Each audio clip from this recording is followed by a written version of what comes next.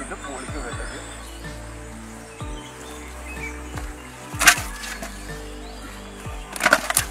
ചെറുത് വലുത്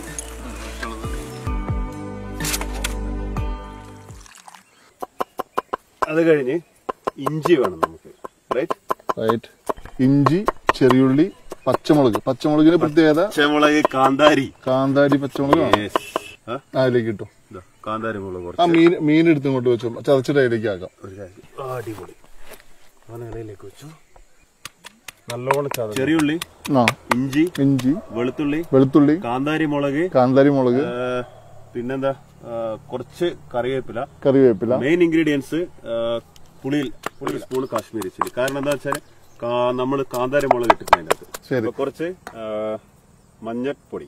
മഞ്ഞപ്പൊടി. മഞ്ഞപ്പൊടി.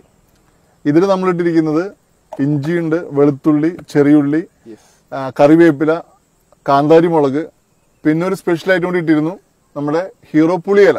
പുളിയല. ഓക്കെ കുറച്ച് അത് നന്നായിട്ട് ചതച്ചു. കുരുമുളക് കൂടെ കൊടുക്കാം. ഓൾറൈറ്റ് കുരുമുളക് ക്രഷ് ചെയ്തിട്ട് കുറച്ച്.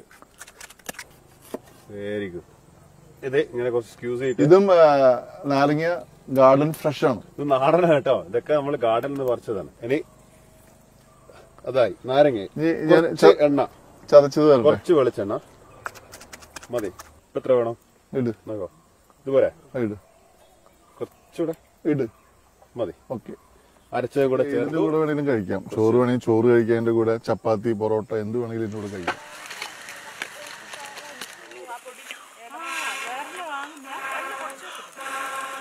സംഭവം അടാറാണ് കേട്ടോ. ഇതിന്റെ ജ്യൂസ് ഒക്കെ ഇറങ്ങി വരുന്നുണ്ടോ? അത് ഏറ്റവും ഫ്ലഷ് ഉള്ള ഭാഗത്ത് നിന്ന് എടുത്തിട്ട് നമുക്ക് ഫ്ലഷ് നല്ല ഫ്ലഷ് ഉണ്ട്. ടേസ്റ്റ് നോക്കിയിട്ടേ ബാക്കി എന്തെങ്കിലും വേണമെങ്കിൽ നമുക്ക് ചേർക്കാം. പക്ഷെ മീനിന്റെ റിയൽ ടേസ്റ്റ് കിട്ടിയില്ലേ എനിക്ക്